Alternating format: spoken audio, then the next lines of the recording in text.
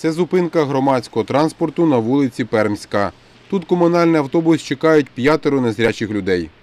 Можна простояти на зупинці е, і час, і два, і три, і не сісти, якщо не буде якихось доброзичливих людей, які тобі допоможуть. Дуже було б гарно. Так є вже в багатьох містах нашої України, що під'їжджає транспорт, під'їжджає або автобус, або маршрутка. І е, звуковий супровід, наружний звуковий супровід оголошує, по якому маршруту їде ця маршрутка або цей автобус. По закону там має бути ще стояти зовнішній інформатор, який має оголошувати номер маршруту і кінцеві зупинки даного транспортного засобу. Це закон вимагає так. Але в основному я тільки один раз зустрів. Це на 46-му маршруті. Ми якось їхали, то оголосив, що автобус номер 46 слідує по маршруту такому-то. Більше ніколи не зустрічав ні на тролейбусах, ні на автобусах. Цей звуковий супровід має бути встановлений над дверима маршрутки або автобусу. Тоді сліпа людина може йти на звук і втрапити в двері, втрапити е, в той транспорт, який йому треба. Їжджу на 116-му, 104-му автобусі. Е, Тільки внутрі озвучують зупинки, а наружний супровід не озвучують. На зупинці автобус номер 116 незрячі люди прочекали 50 хвилин. Маршруткою вирішили не їхати через велику кількість пасажирів. Далі чекати комунальний автобус йдуть на іншу зупинку спортшкола.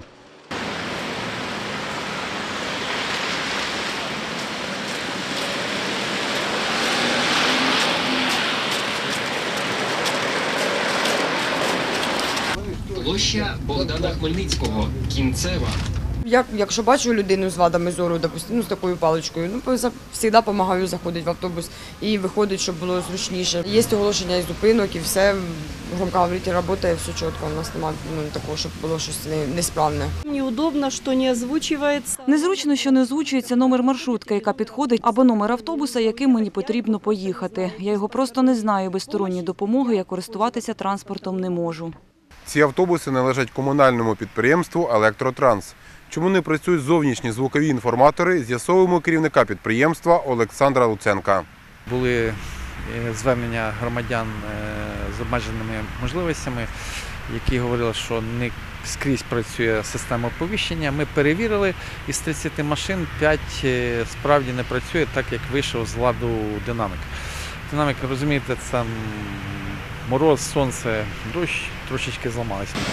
Обережно. Двері зачиняються. Маршрут номер 118. Четверта школа. Білорусія поставляє автобуси, вони вже йдуть із заводу обладнані цією системою. Ну, як і в будь-якій системі, десь є якісь недоліки, де до- недоопрацювання.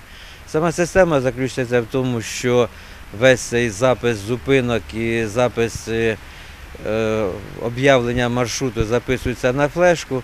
Флешка вставляється до е, передавача, який знімає цю інформацію, щитує та передає на е, динаміки, які встроєні в автобусі. Зі слів Олександра Луценка, за два тижні водії всіх комунальних автобусів оголошуватимуть на зупинці номер автобусу та його маршрут.